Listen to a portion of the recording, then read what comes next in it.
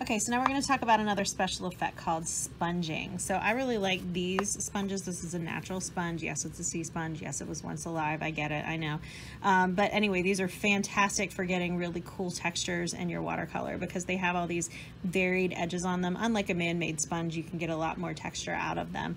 Um, so when you first um, get a hold of it, it is going to be very hard because these are used to having water in them. So one of the things that you need to do is probably take all your paintbrushes out of there and dip it, and my water thing is a little bit small, um, dip it in some water and then wring it out. And then once you do that, you'll find that the edges that were in the water are now going to be very um, soft. So it's much more soft. So this is something you'll have to experience, but I can show you. But it's going to be much more soft after, you know, it's more spongy. Over here is still dry, so it's a lot harder to squeeze. And over here it's um, very wet, so it's easier to squeeze. So one of the things that you can do with that is you can um, you can do one of two things. You can go right into the color. So I can just take that that's already been watered down. That color is actually a little bit too new. So you want to make sure that the color already has some water in it that you put in with your brush. Okay, so I'm going to go back.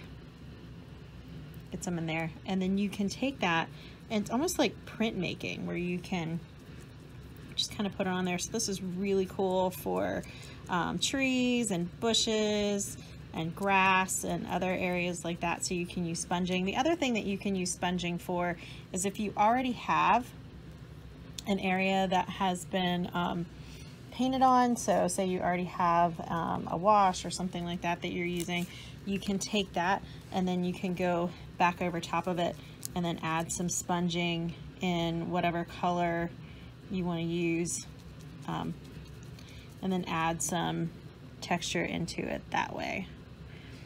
So again, you can just either do it on dry paper, you can do it on wet paper that already has color, and the other thing you can do is you can go ahead and do it on um, dry paper that already has some color on it too. So, um, so say I could take this one, it's a couple different colors on it, and then I can put that over top and create some really fun textures that way too.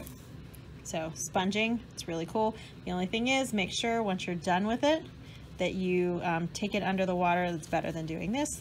But if you take it under the water and clean it out once you're done and make sure that you've squeezed it out because once that color dries in there, it's harder to get out. So make sure for the next person or for yourself that you clean out your sponges when you're finished with them. So that's called sponging.